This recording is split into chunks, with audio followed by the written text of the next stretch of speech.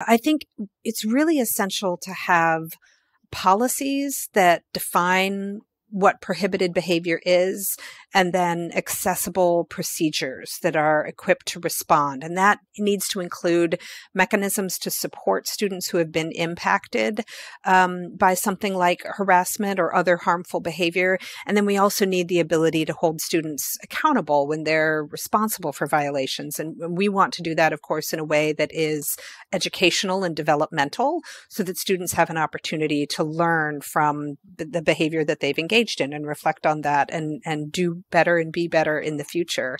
Um, but I think what's more important, even than our policies and procedures, is investing in a campus climate that orients from an ethic of care for one another and empathy and understanding so that members of the community are aware of one another and are responsive to each other's needs.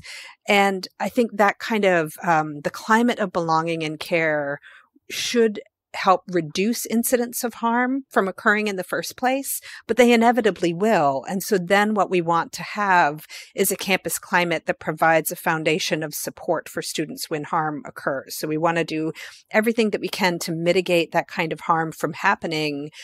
Um, but to also have a supportive community and responsive procedures in place when it does.